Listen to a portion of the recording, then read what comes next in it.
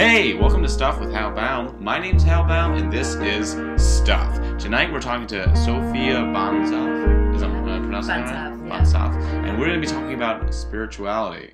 I'm going to put five minutes on the clock. While I do, why don't you tell me the five more, five most spiritual places you've ever been to? The five. mo- Oh, see, that's a that's an interesting question. That's a good question because it isn't about the place you go. Right, Like, that's true. There are like places that are like technically spiritual, yeah, like I the Wailing so. Wall. Yeah, yeah, yeah. It's technically, It's a yeah. well-known or there are places that are like known to like attract, you know, saints or whatever. Mm, mhm. But I mean, I don't think I've been to any of those places, and I don't. I mean, I went to the Baha'i temple yesterday. Mm. Um, here. In, Oh yeah, it's like right on the beach, right? Yeah, yeah, Yeah, yeah. yeah. I heard Um, about that. So I mean, you know, that was I guess a spiritual place, but I didn't feel especially Bonded to it. yeah, I didn't feel like especially like moved to Mm. some kind of Higher. yeah, some Feeling? moment of Right. yeah, no. Where is a place that you felt that way? Uh usually when I'm just like outside walking Mm-hmm. in a city Mm. or like when I'm out drinking. Mm. like actually, I know city? that sounds crazy, but No, like, no. or like when I when I see really good art, Mm. um, like a good play or something, um, or when I'm just like alone in my bedroom. Like yeah, I That's mean, true. Uh, the- the bedroom uh, is a very is a spiritual place in a way. Yeah. Or like, what about like a natural place, like a waterfall? Oh, Would that absolutely, do it for you? totally. Yeah. Like walk, like out, just like being outside. Mm. Hiking. Yeah, hiking. Yeah, but you know what though? Like those are like peaceful moments, Mhm. but they're not like I don't know. They feel sometimes they feel a little bit contrived. Like I don't know. I sometimes feel like oh now I have to connect with Oh, nature because you're out there and Because you're, I'm out- you're supposed. yeah. That's what you're supposed to do. You do. like look So at this tree, like Ralph Waldo Emerson tells you to do. exactly. So Right. it's not even then. It's like in kind of unexpected moments. I Mm. think, or like you know, meditation is a good place Right. to start too. Mm. What is your mantra? Um, what is my mantra? Do you have Um, one? Yeah, uh, I don't think I have. I think it Mm. changes sort Mm. of day to day. Mm. Um, I, I usually a mantra is these days everything is working out for me. These days, everything. is No, working no, not these days. Oh, but like that's oh. my mantra. my mantra is everything is working out That's a good mantra. It's a good mantra. It really makes me feel relaxed Mm. and um, treat other people better Mm. because I'm not like so stressed about everything. Right. that's a huge thing. Like I'm such a stressed, anxious, per- or I was a very stressed and anxious person, and Mhm. that's really allowed me to like be more present to people around me. Mm. And, That's good. Yeah, So, what do you do when you meditate? You just you sit.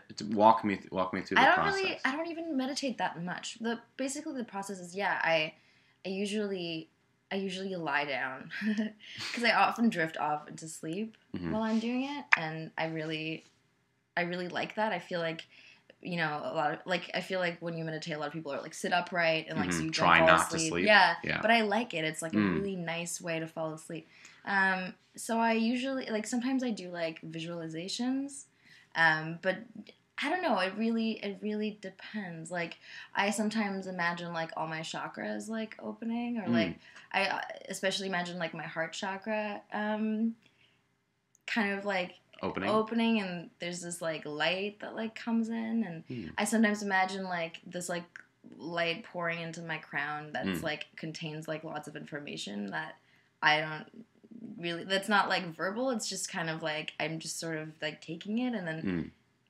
And it makes me feel good I can see that. uh, and then sometimes I'll have like insights like the Mm. day after that I that came out of nowhere I don't Mm. know it's pretty cool like Sounds great. yeah I know it's pretty cool but but I think it's you know it's not really like magic or anything Right. it's just like Well, you're sure. just open you're just more open to information or like you're more open to your own intuition Mm, like reflection and yeah. So, what are the different chakras? I don't know anything about that. i don't actually know like too much about chakras but Mm. i don't really work with chakras like Mm, but um so basically you have one in your in your your root chakra mhm, um in the like the base of your spine mhm. um and then you have the uh sacral chakra.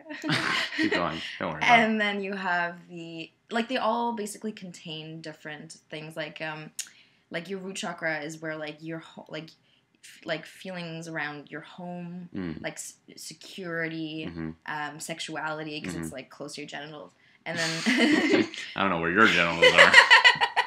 Mine are on the front.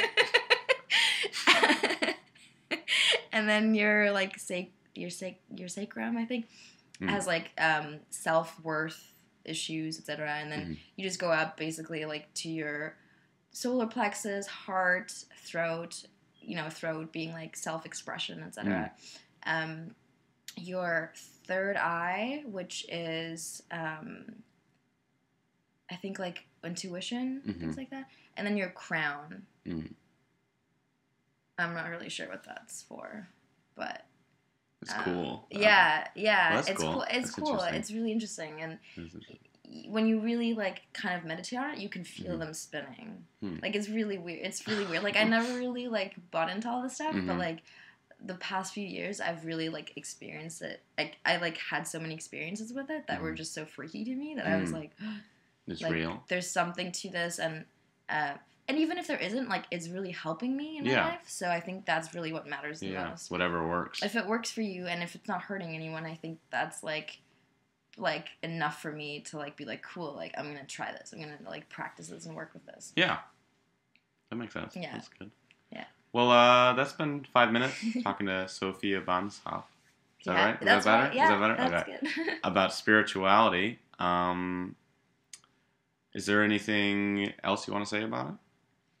Anything at all? Anything I you mean, want to say yeah, I- about anything I ever? do, I do want to say something about it i think um you know everyone has their own practice Mhm. And it really like uh, like you have to kind of develop your own like it can mean anything. It can you know spirituality is such a broad kind of term and Right. a lot of people are afraid of it. Mm, but it really is just about like what makes you feel healthy and good and and, and what makes you feel like what gives you relief and what gives Mm. you a sense of peace. Mm, and those are like practices that that do that for me. And i think it's really worth looking into what what um does that for you? yeah exactly Right. yeah right. So find your own peace. find your own spirituality. Try meditating. maybe yeah Yeah. try meditating I've never tried it. I'm gonna try it cool someday. Not tonight. I gotta sleep. Well, maybe I'll meditate into sleep. exactly Yeah, that'll be There fun. you go. That'll be fun. Awesome. Well, that's been five minutes. Uh, thank you for talking. thanks for having me Thanks for listening. And as always, thank you and good night. So long. I was spending my days with my demons, yeah. They had taken up inside of my heart. They were trying to keep me entertained. They were tearing me apart. But my memory, she was packing, yeah. And I knew that you would never come back.